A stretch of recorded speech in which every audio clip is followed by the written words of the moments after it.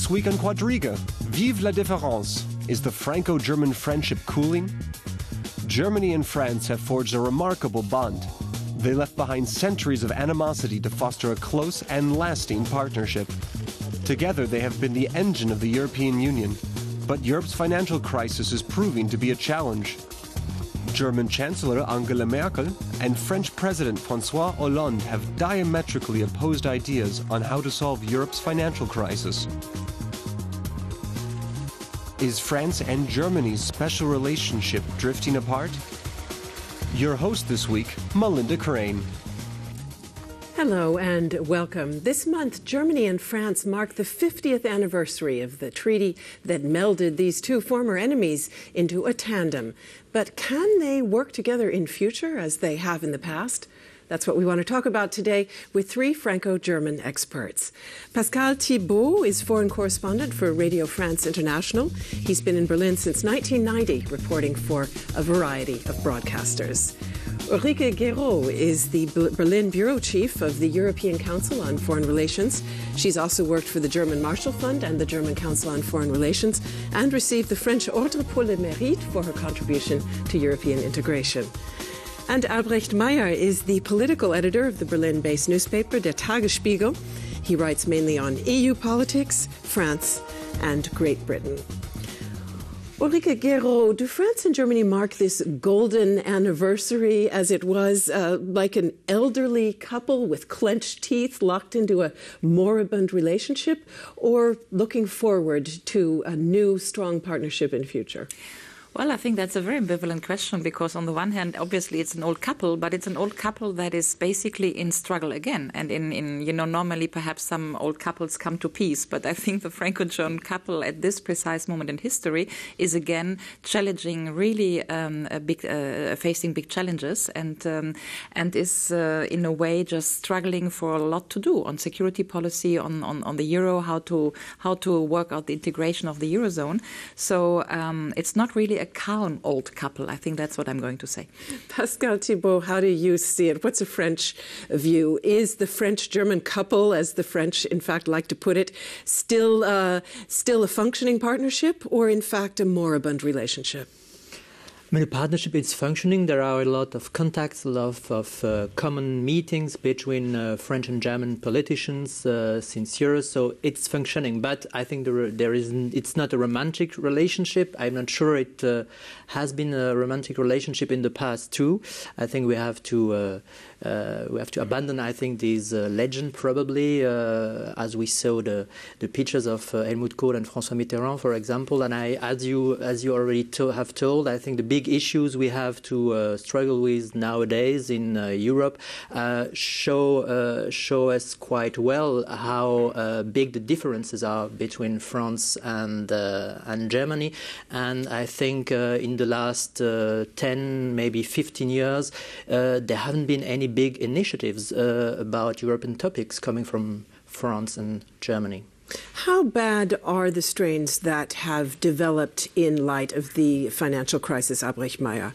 Well, there's a fundamental difference uh, between Germany and France when it comes to solving uh, the crisis. Uh, um, Chancellor Merkel, she is actually calling for um, austerity on the European uh, uh, sphere, and as well, she wants uh, structural reforms to be pushed through in, in the European partner countries, whereas France is pleading in favor of more of burden sharing within the Eurozone. This could entail, for instance, Eurobonds, which Merkel does not want by any means at all.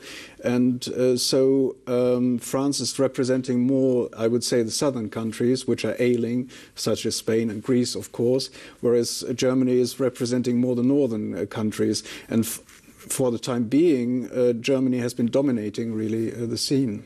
Do the tensions over policy that Albrecht Meier has just uh, described, do they reflect basic differences in philosophy? That is, of course, often said to be the case, that these are fundamentally opposed philosophical visions. Or do they reflect differences in the balance of power, Ulrike Guérot? I think both. And first, I'd like to agree with Pascal, which is that, um, I mean, we tend to see that uh, the tandem was sort of a rosy, shiny, romantic affair for 40, 50 years. It wasn't, and it was never. Let's remind that anything from Eurocorps making, from the Euro making in 92, was deep, deep, deep struggle about power balances and about uh, socio-economic sort of ideologies. And France and Germany were never sort of similar. It was the strength of the tandem that you could basically merge countries countries which are basically totally different in the way they run their state and the way they run the economy, and still they could go for compromise. The moment you had that level playing field, you could advance Europe. So it was more coming from very different poles that make the strengths of the Franco-German tandem, rather than saying that France and Germany are really similar.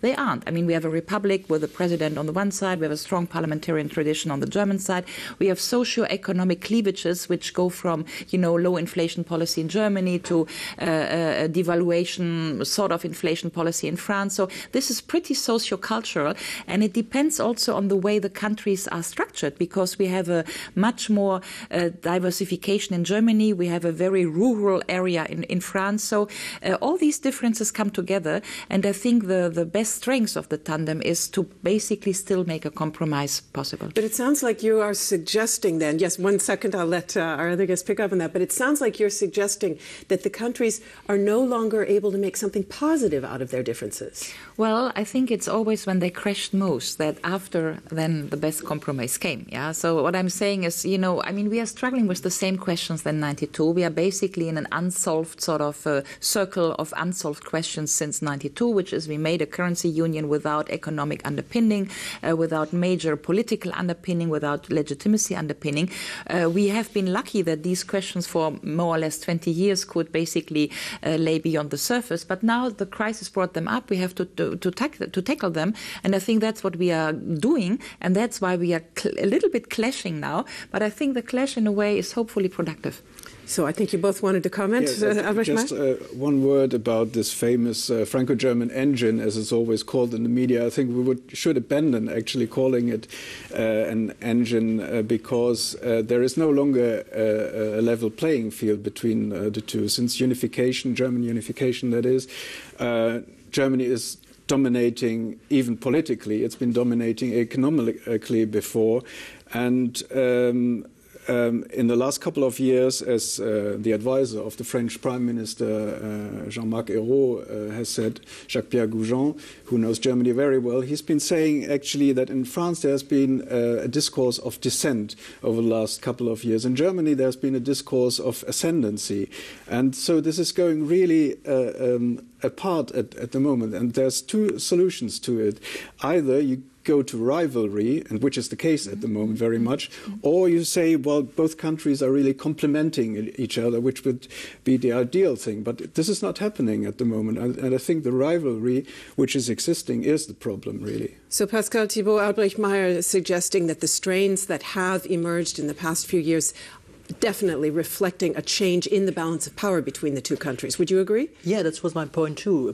Because if you want to uh, to find uh, a common solution uh, between a couple or between two countries, between two governments, you have uh, you need a, a, certain balance, and there is no right balance between uh, France and Germany nowadays. There was a break already after the end of the Cold War, 1989, because uh, the, the, the role, for example, of the French nuclear bomb was, uh, of course, not the same, and uh, and there is an economic uh, an economic an economical problem because of the big differences that we have nowadays between the two economies, and we saw it also in quite a lot of articles in the not only but also in the German press, which are very very critical against the new French government, and I think it's a risk for the for the for the future if you want to to find common solution, if you want to move move. Uh, uh, and uh, in Europe, you have to you, you need two partners which build more or less a certain balance. And and think it's important for Germany to have uh, yeah, to have a neighbor, a partner, which is uh, yeah, which is uh, strong enough. Ulrike Guérot, Germany, of course, has emerged from the crisis even stronger, or at least it was still looking uh, that way at the end of 2012, beginning of 2013.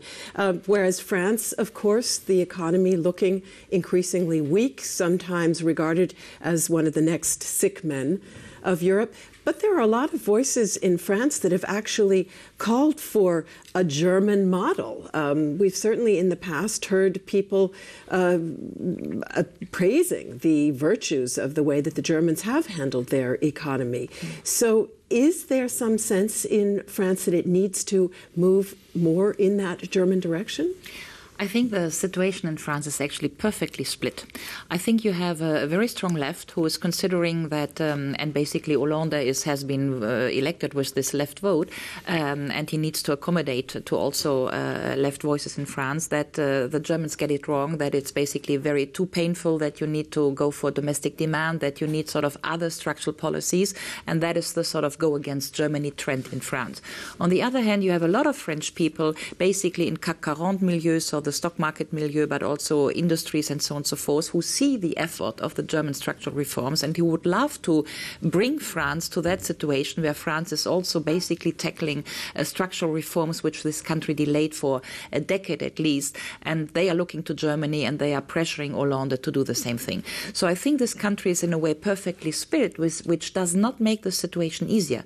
Because the problem is not only what Pascal uh, and Mr. Meier said, um, that the symmetry between between the power balance between France and Germany is broken. The real problem for Europe is that France has a much bigger deadlocking capacity in the European process than any other of the countries. Uh, you know, I mean, Germany, uh, whether that was a good policy or not, but could basically bring Greece to Nice and then, you know, make the government change, bring Italy to Nice, make the government change in Italy. But Germany needs to accommodate French requests on European policy much differently than any other requests. And that is where basically basically um, the power now of France comes to play. In other words, you're saying that France is not as dedicated to European integration as Germany? No, I'm saying that France holds the key for much of the reforms in European integration because Germany cannot do them alone. And it needs to accommodate the French, even if the French are not wanting what the Germans want the French to do. That's what I'm saying. I'd like to take a look back and ask all of you what you believe allowed the two countries to bridge their differences successfully in the past. We can we can say, okay, we won't talk about the tandem or the motor, but nonetheless, it is the case that for a long time, these two countries and their cooperation helped to drive European integration forward. What were the elements of that that worked well, Pascal Thibaut? I think, first of all, in the first years after 1945, they were uh, they were able, thanks to some important uh, people like Jean Monnet or Schuman in France, but also Adenauer in Germany, they were uh, they were able to um, to to overcome the, the difficulties in the past, the the big wars we had and uh, to build the uh, the basis of the, the, European integration. I think it's also a legend to say the Franco-German reconciliation began 1963 with Adenauer and de Gaulle. It's it's not right, and that was an important an important fact to um, to develop afterwards the European integration and also the Franco-German reconciliation. And as uh, Ulrike Guérot already have said, has said, the, the two different models in Europe between France and Germany, especially what the economics, uh, for the economics, I think it is important because if these two countries,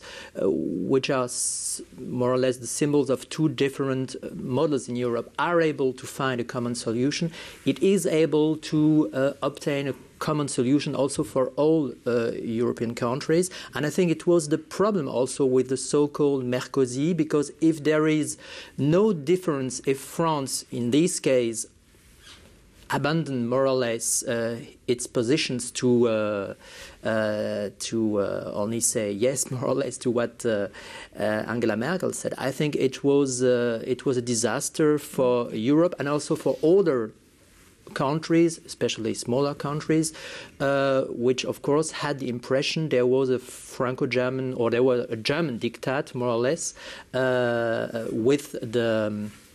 The approval of Mr. Sarkozy. Yeah, it's the French role to counter Germany. I agree.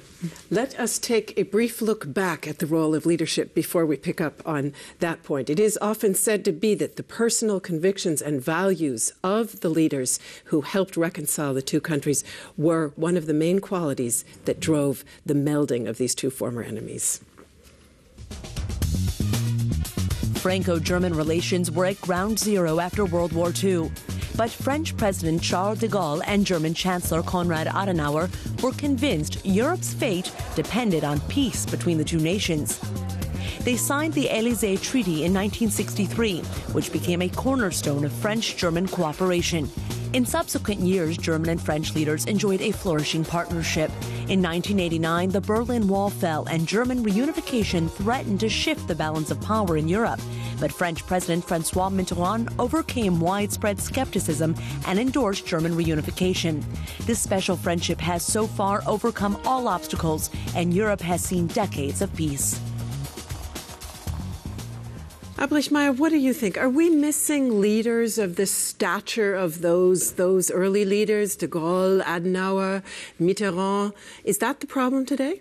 Well, it certainly makes a difference uh, if you have lived the Second World War, uh, uh which uh, leaders uh, like uh, Mitterrand or Kohl had done, or whether you didn't, as Sarkozy, Hollande, or, or, Merkel is the case in, in their case. Um, I think the relationship worked pretty well um, due to several kind of points. The Elysee Treaty came about because there were different interests there, and they matched each other quite well. Adenauer wanted the integration into the West, and uh, de Gaulle was looking for a partner basically to forge an alliance against the United States which, as we all know, didn't work because then in the Bundestag afterwards, a preamble was uh, thought out saying that Germany would like to go along with Britain as well in the United States.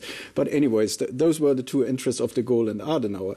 Then later on, uh, Kohl was a politician who uh, was still in the generation of those for whom it was a big event if they could break uh, the barriers at the borders. Uh, they, they saw those borders come down, and he uh, was a very Francophile uh, person as well. So there was a, a personal um, involvement um, into the matter. Uh, Giscard d'Estaing uh, and, and, Helmut Schmidt, they found each other on an economic basis as being experts in, in some kind of a, a, a, way as well.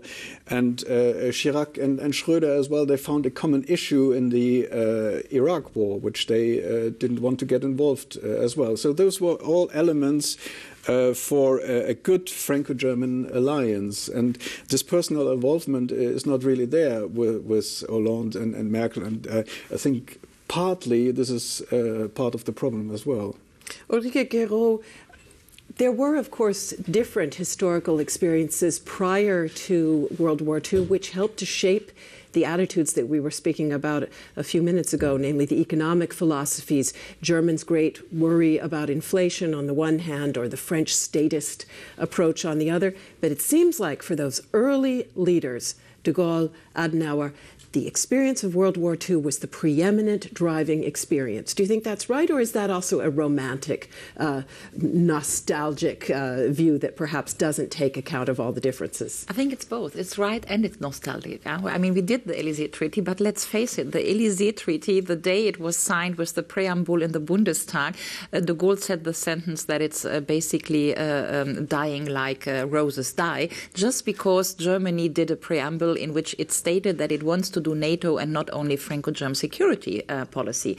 And the Elysee Treaty, which is now celebrated 50 years, which basically led to Franco-German uh, youth cooperation, which is all nice, but it was meant to be a profound Franco-German security treaty, which didn't come to play in that in that way. So the Franco-German relationship, in a way, is always a relationship of um, ambivalence and of ambiguity, of of, uh, of uh, happy malentendus, you know, misunderstandings. and and basically, I think it were it it was all misunderstandings on purpose. I think France and Germany for long didn't wanted to spell out the details, and by not spelling out the details, they could make the relationship work on the euro and the economic side as much as on the security side. You know, the same with security policy in the 92 when we did the Eurocorps and when Fra- France basically wanted to have a really European security policy uh, disentangled from NATO, you know, really European strengths, where the Germans wanted basically having NATO into place. So we, we kept these ambivalences out, and by keeping them out, we could make the Franco German engine work. The problem is that we need to spell them out more and more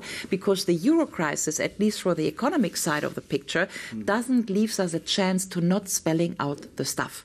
And this is the historical moment of today. We need to spell out do we integrate more fiscal integration, Eurobonds, yes or no, legitimacy, political union, can it work, different parliamentarian structures, different parliamentarian cultures, can this be merged, can there be a symbiosis? This is the question of today that we are running out of the uh, buffer zone of ambiguities of ambivalences. Are we also running out of concrete projects and bilateral initiatives of the type that we had in the past? Ulrike Guérot is suggesting that we had a sort of a fuzzy uh, roof over the cooperation, but that much of the cooperation took place in concrete initiatives on the ground, as I understand it. Are we missing those today, Pascal Thibaut? Yes or no? Um, I think a big problem is that with the crisis we are dealing with in Europe, uh, we have now it's it's becoming better, but uh, in the last month we have we had more or less uh, uh, crisis meetings every day, and uh, the politicians try to solve little details, uh, uh, little problems, and hadn't probably no time for big projects. On the other hand, I think this crisis also brings some um, opportunities, and as uh, Ulrike Guérot already said, we have to solve big questions which haven't been solved at the beginning of the 90s.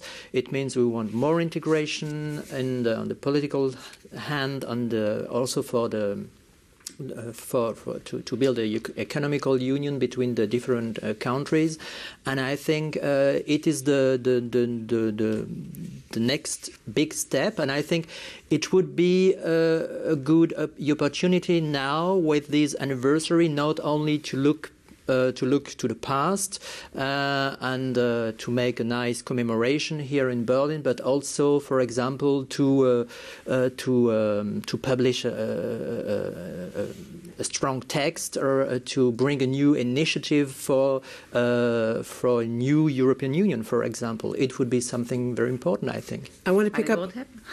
I want to pick up on that in just a moment. But Ulrike Guérot mentioned just a moment ago that actually the thing that drove this idea in the beginning was security, the idea of a common security initiative. And in fact, that is a theme that has come back again and again in the Franco German relationship. Albrecht Meier, but a theme that sort of died out uh, recently. Whatever happened to the idea of the common security pillar? Is it simply a victim of budget cuts and financial uh, austerity?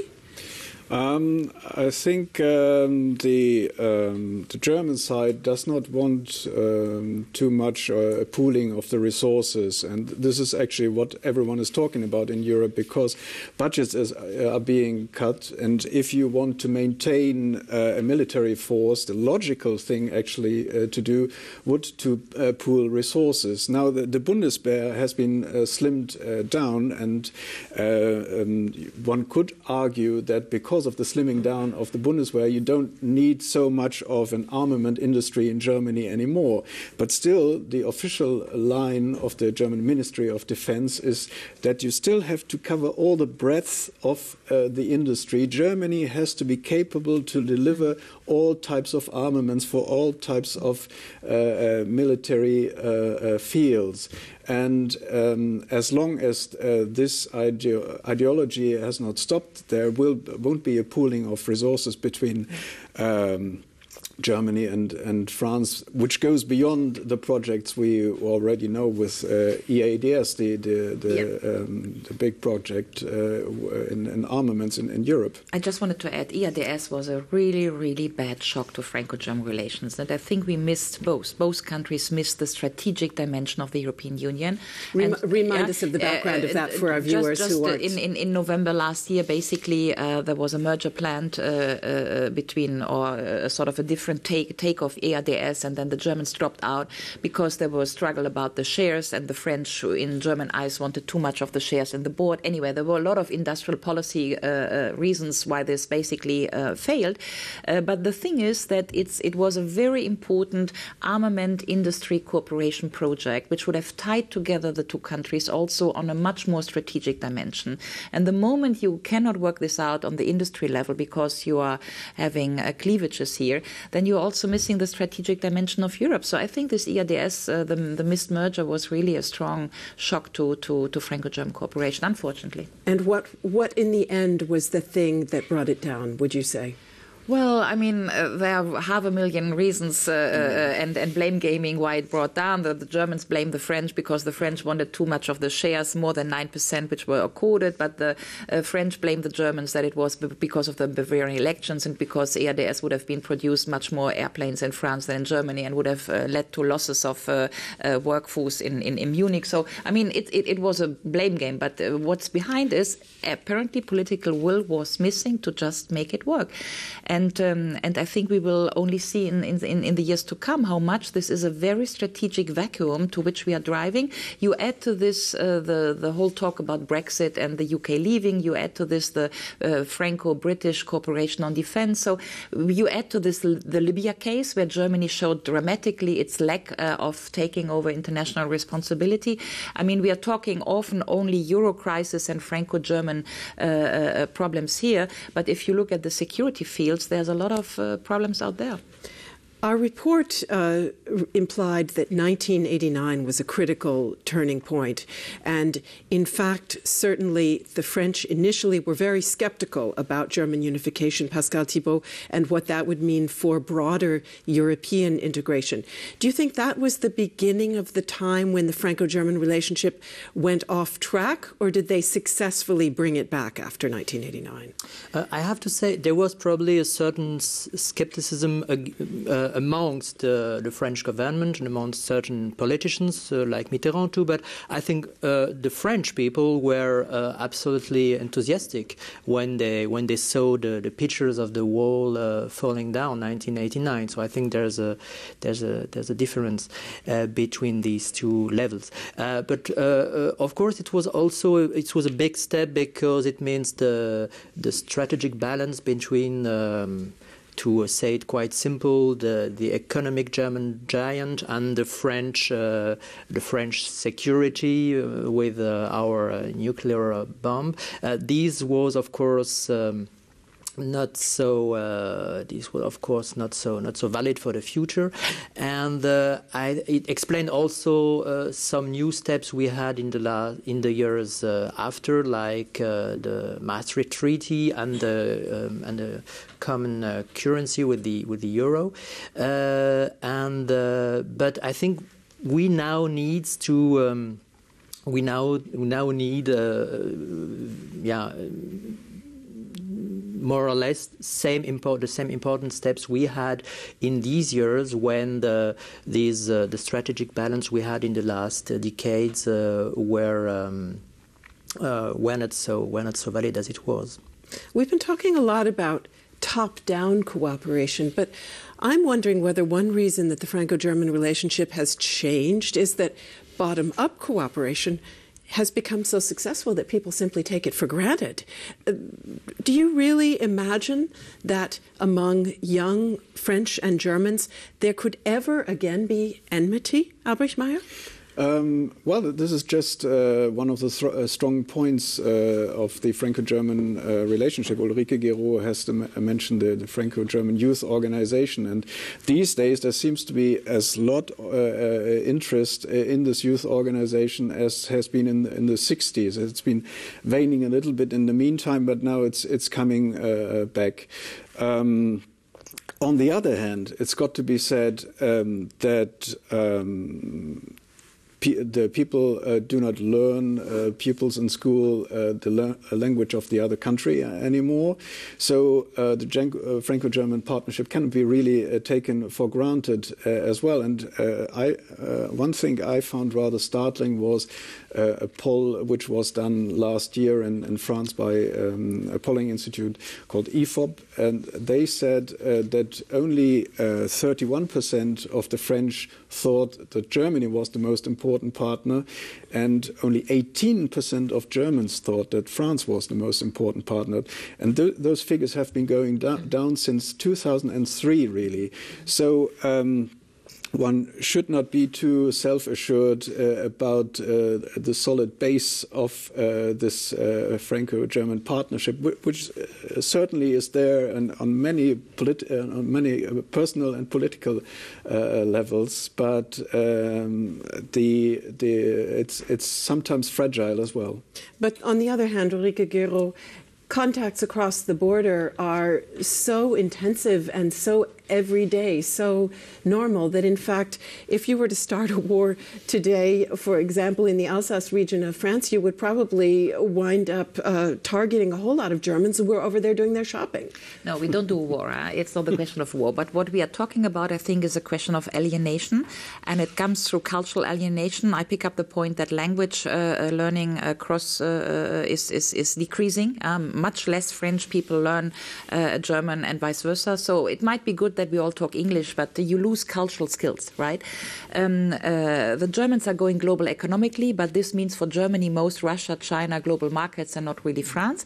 Uh, there's a huge talk in French, in, in German business community that basically France is not getting its act together, and so it's not sort of the market of the future. But what is more important, I think, is that uh, with all the talk about the euro crisis and the social crisis we are in, that the social uh, split of today may be the European split of tomorrow. When we are talking about all these cross-border contacts, it's the question for whom. It's the Erasmus use, it's those who study abroad, it's uh, the EasyJet use, you know, who pick a flight for 60 euros to go to Paris. But this is not, this is only half of the youth. And there is interesting empirical data out there that you have a deep split in mobility among young generations, those who are more or less left behind in both countries, right? Um, and the social poor, and that these people are going to have uh, a cross-border context tomorrow. Where should it come from? So I think the youth, the new generation, is as split on European integration as on Franco-German relation and contacts um, um, as we haven't seen before, and this might be a problem of alienation tomorrow.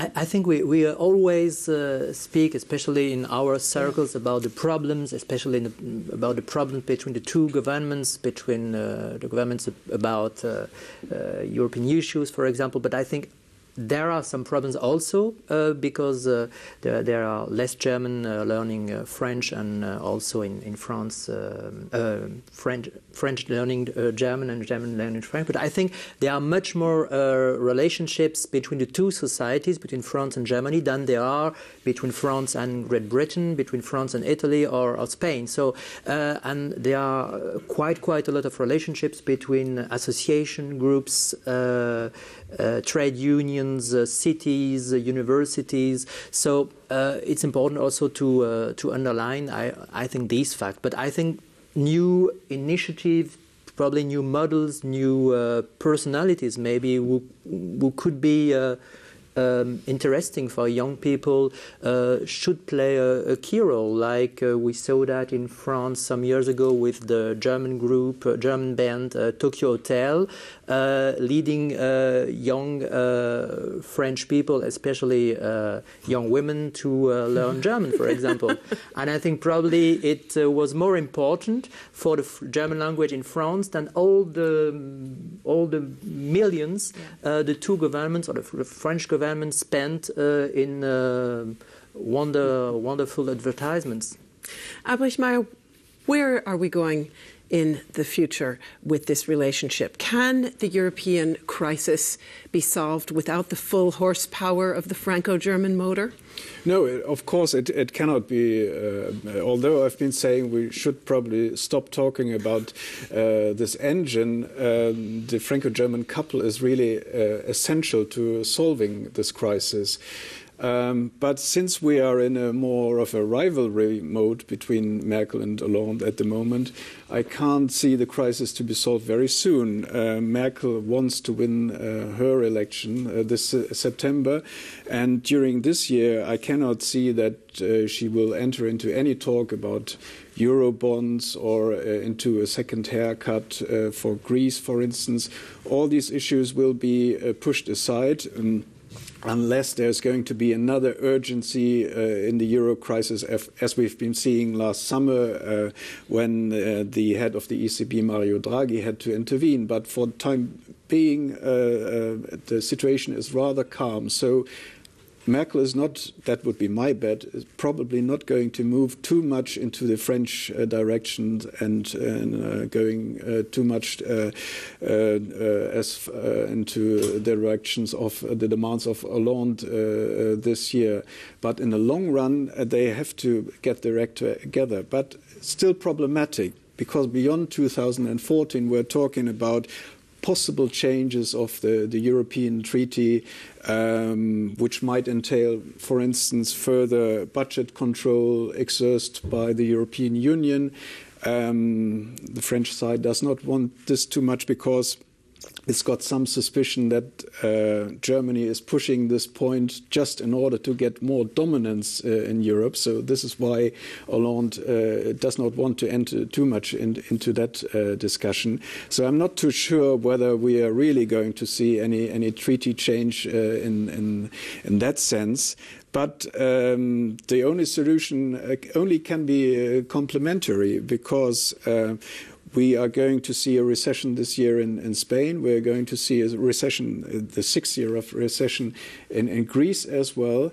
And so there, there has been some stimulus uh, as well for these countries. And France and Hollande is the advocate of this kind of stimulus policy. And somewhere or another, Merkel uh, has to uh, give in. So that probably is the solution. Ulrike Guérot, what needs to happen to bring French German leadership back in a constructive fashion? Well, um, that's a Nobel Prize winning question, and uh, you just won the Nobel Prize, by the way. But, uh, well, I mean, cynically speaking, perhaps the crisis needs to go further down to really increase both the social pressure um, um, and the market pressure to make the system move again. Uh, because I agree that we had three years of a crisis. The the system, the European system, uh, integrated more fiscal, political union, banking union, and all these things. But now pressure has moved away, so there's less pressure on markets, and basically France and Germany are withdrawing from really going into action. Uh. That's related to the German elections. I agree. So the real question is if after the German elections we will take the or size the momentum of 2014 to make a bold step. Uh, 2014, we will see European elections forthcoming. We will probably have a convention on some sort of treaty change because all the stuff which is on the table now, banking union, especially uh, the question of debt mutualization, will ultimately need some sort of treaty change, be it chirurgical uh, uh, treaty change or big bold treaty change. That's a different question, but something, right? And France and Germany will need to lead that momentum. And we will have a new commission by 2014. So the real question is, you know, 2014 is a big date. 1914, we know what happened, right? So it's a hundred years after that Germans, that Europe has a second chance, and I think we should live that momentum, and France and Germany hopefully will live it. At this moment, January 2013, of course, there is another treaty that we've been talking about in this uh, program, namely the Elysee Treaty, does turn 50 this month. There had been talk, Pascal Thibaut, about somehow rewriting the treaty to reinvigorate it. That talk has more or less died out. But is there something that could be done to revise the treaty and thereby reinvigorate this partnership, or is that a purely formalistic idea? I think uh, if it's uh, if a new treaty or if a new version or whatever, of, or if some new paragraphs only consist on in some wonderful, nice ideas without uh, without in without uh, content. I think it's it would it wouldn't be interesting. And I think it's important. Of course, it's a French French German treaty, but I think what is nowadays important more than France and Germany And uh, Europe is not only France and Germany.